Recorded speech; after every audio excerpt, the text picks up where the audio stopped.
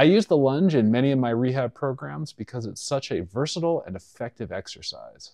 You can focus all your effort on the front leg, which feels like you're practicing a one-legged squat. You can get your rear leg into extension, which is rare for those of us who sit a lot. You can challenge your balance, you get to train mobility of multiple joints at the same time, and you can improve your strength and your muscular endurance. You can also jack up your heart rate and improve your cardio. Additionally, the lunge is functional because you can utilize the skill and the ability in your everyday life to help you pick things up. That's why it's a shame when people don't lunge.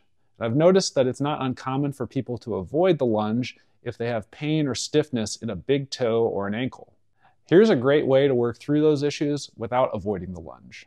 If you don't have access to a suspension trainer like a TRX, grab a hold of something sturdy. I'm going to use a squat rack, but you could easily use a door frame or a post.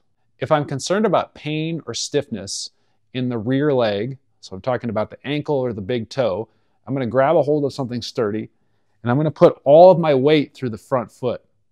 From here, I'm going to lower myself down, unloading that back foot by grabbing a hold of the sturdy object.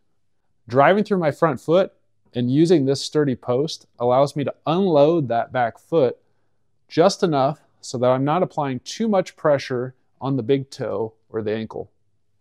Progressively over time, you should be able to put more and more weight through that back foot as you become more comfortable.